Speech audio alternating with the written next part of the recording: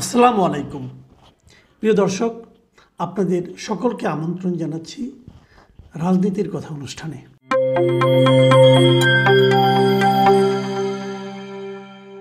বাংলাদেশি রাজনীতিবিদ মানে আওয়ামী লীগের সাবেক মন্ত্রী, বর্তমানে এমপি সাইফুজ্জামান চৌধুরী চট্টগ্রামের। উনি এরই মধ্যে আরও আগে একবার আলোচনায় এসেছিলেন। সর্বশেষ এসেছেন আন্তর্জাতিক মিডিয়ায় শিরোনাম হয়ে। আন্তর্জাতিক মিডিয়া মানে যুক্তরাষ্ট্রের বিখ্যাত এবং সারা দুনিয়ায় বিখ্যাত যে ফিনান্সিয়াল ব্যবসা, বাণিজ্য, অর্থনীতি, এ সমস্ত বিষয়ক যে বিভিন্ন মিডিয়া আছে, তার মধ্যে শীর্ষস্থানীয় মিডিয়া ব্লুমবার্গ। সেই ব্লুমবার্গের শিরোনাম হয়েছে এবার এই সাইফুজ্জামান চৌধুরী জাভেদ। উনি আমাদের সাবেক ভূমিমন্ত্রী ছিলেন, বর্তমানে এমপি। এবং এই ভূমি বিষয়ক যে কমিটি আছে, সরকারের সংসদীয় কমিটি, উনি সেটার সভাপতি পদে আছেন আর কি।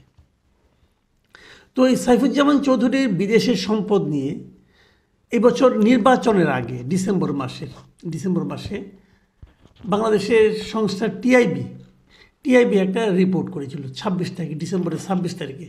তারা বলেছিল যে বিদেশে বাংলাদেশে এক মন্ত্রীর যুক্তরাজ্যে আর কি, প্রায় দুইশো তিন বিলিয়ন টাকা। এই টাকার বিপুল সম্পত্তি এবং ব্যবসা আছে। এবং তারা বলেছিল যে আমরা মন্ত্রীটার নাম প্রকাশ করছি না।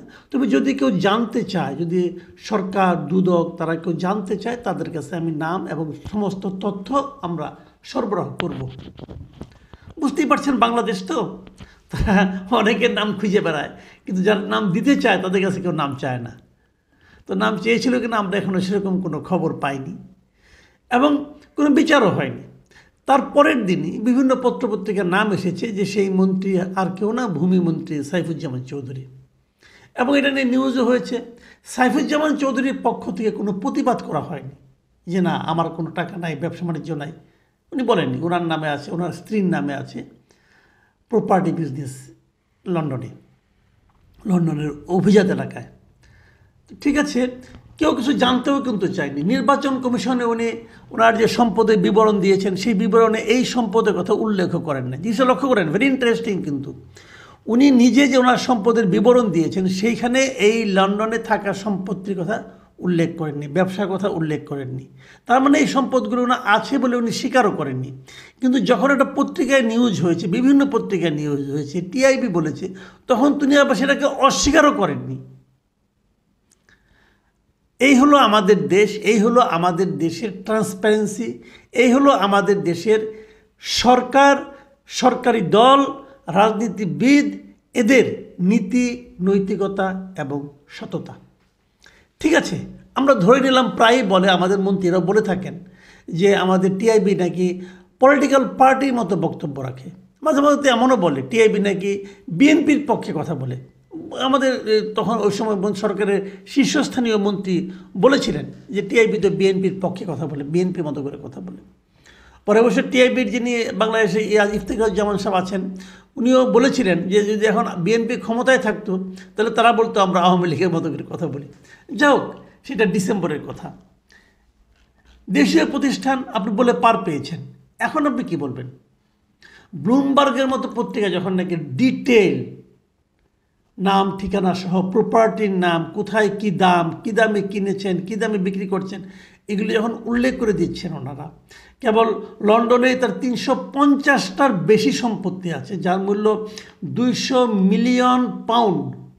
মানে আমাদের টাকায় ধরতে গেলে দু হাজার সাতশো কোটি টাকার মতো। মানে আপনি ধরতে পারেন যে তিন হাজার কোটি টাকা। তিন হাজার কোটি টাকার সমমূল্যের সম্পদ তার ওখানে আছে।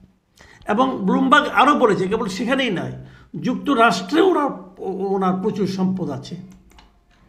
তো এখন এই যে বিপুল সম্পদ যুক্তরাষ্ট্রের ম্যানহাটনেও তার এরকম পাঁচটা প্রপার্টি ব্লুমবার্গ খুঁজে পেয়েছে।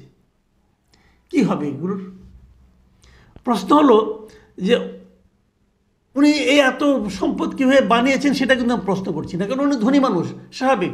ওনার বাবাও খুব ধনী ব্যবসায়ী ছিলেন, উনিও ধনী ব্যবসায়ীর ছেলে, সেই হিসেবে ওনার ব্যবসা বাণিজ্য থাকতেই পারে, এটা নিয়ে আমার কোনো আপত্তি নেই। আমাদের প্রশ্নটা হলো, উনি এই টাকা বিদেশে নিলেন কীভাবে? এক নম্বর প্রশ্ন। কারণ বাংলাদেশ থেকে বিদেশে টাকা নিতে গেলে যদি কেউ কোনো ব্যবসায় বিনিয়োগ করতে চায়, তাহলে কতগুলি ব্যবসায়িক খাত আছে? যে খাতগুলিতে আপনি ব্যবসা বিদেশি করতে পারেন, বাংলাদেশ থেকে টাকা নিয়ে। এবং সেটা বাংলাদেশ ব্যাংকে অবহিত করে নিতে হবে। সাইফুজ্জামান চৌধুরী সাহেব বাংলাদেশ ব্যাংকে অবহিত করে টাকা নেননি। তাহলে উনি কীভাবে নিয়েছেন? পাচার করেছেন, চুরি করেছেন, চুরি করে নিয়ে গেছেন। এটাকে বলা হয় মানি লন্ডারিং উনি মানি লন্ডারিং করে নিয়ে গেছেন। আইন ভেঙেছেন। কে আইন ভেঙেছে? একজন আইন প্রণেতা। এদেশের একজন আইন প্রণেতা এবং মন্ত্রী। তিনি আইন ভেঙে টাকা বিদেশে নিয়ে গেছেন। কেমন হলো? আবার উনি পরে এবার আবার সরকার তাকে মনোনয়নও দেয়, আবার তাকে আইন প্রণেতা বানায়। মানে আইন প্রণেতা হিসাবে উনি চরমে অন্যায় করার পরও এই সরকার, এই আওয়ামী লীগ আবার তার উপরেই ভরসা রাখে, তাকে আবার আইন প্রণেতা বানায়। এই হলো আমাদের দেশের রাজনৈতিক দলগুলির নৈতিকতার অবস্থা। কি বলবেন? আরেকটা কথা বলি। কেন এগুলি অন্যায় সেটাও একটু বলা দরকার। এই যে উনি টাকাটা নিয়েছেন বিদেশে, এখানে ওনার লাভ হবে না? হবে তো। সে লাভের টাকা উনি দেশে আনতে পারবেন? কীভাবে আনবেন? কি বলে আনবেন? তাহলে এই টাকা নেওয়াতে আমাদের দেশের, আমাদের জাতির কোনো লাভ হচ্ছে না, বরং ক্ষতি হচ্ছে। ওনারা করছেন কি? এদের মানসিকতাটাকে সেটা আমি বলি একটু। এর পেছনে কী মানসিকতাটা কাজ করে? এদের মানসিকতা হলো, এই দেশটাকে তারা বানিয়েছে লুটপাটের জায়গা। এখান থেকে লুটপাট করবে, করে নিয়ে বিদেশে সম্পদ করবে, শেষ বয়সে যে বিদেশে থাকবে। তাদের ছেলেমেয়েরা বিদেশে পড়াশোনা করে। তারা এই দেশটাকে তার দেশ মনেই করে না। মনে করল তারা এই দেশেই বিনিয়োগ করতো, এই দেশেই শিল্প করত। আমাদের সরকার প্রধানকে প্রায়ই দেখি। যে বিদেশে যে বলে আপনারা দেশে বিনিয়োগ করেন। আরে ভাই, আপনার মন্ত্রী তো দেশে বিনিয়োগ করে না। আপনার মন্ত্রী তো বিদেশে বিনিয়োগ করে এবং এদেশ থেকে চুরি করে, অন্যায় করে মানি লন্ডারিং করে টাকা নিয়ে যে বিদেশে বিনিয়োগ করে। আপনি কিছু বলতে পারেন না? তাহলে কেমন হলো? আমরা কার হাতে দিয়েছি দায়িত্ব দেশ শাসন করার? আমরা তো দেইনি, যারা নিয়েছে, তারা কীভাবে কোন মুখে এইটা নিয়েছে? আমি জানি না।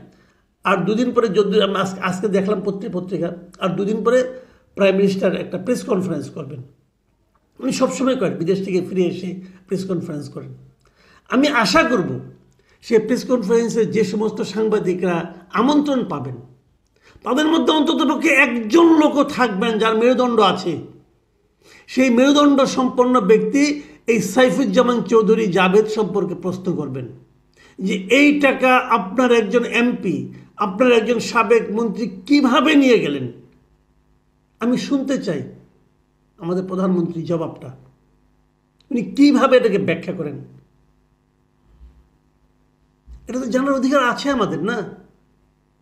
আমার তাহলে এমন আইন কেন করেন যে আইনটা আপনি রক্ষা করতে পারবেন না? ব্লুমবার্গের পক্ষ থেকে কিন্তু বাংলাদেশ ব্যাংকে জিজ্ঞাসা করা হয়েছিল এই সংক্রান্ত বিষয়ে।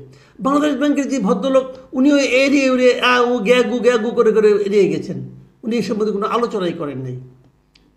দুদক কোনো অ্যাকশন নিয়েছে? নেয়নি। তারা পরে আছে ডক্টর ইউনুস দিয়া। সে নাকি মানি লন্ডারিং করছে। মানুষ এগুলি বোঝে। মানুষ আপনাদের এই সমস্ত কর্মকাণ্ডের জন্য ভালোবাসে না। কি করে নিশ্চয়ই টের পান? যদি মানুষের দিকে তাকান, টের পাবেন। প্রিয় দর্শক, খুবই মর্মান্তিক ঘটনা এটা। আমি খুবই হতাশ। আমাদের এই দেশের ভবিষ্যৎ নিয়ে হতাশ।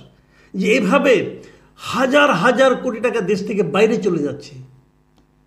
আর আপনারা দেশের উন্নয়নে আশা করছেন? এদেরকে কেউ কিছু বলবে না?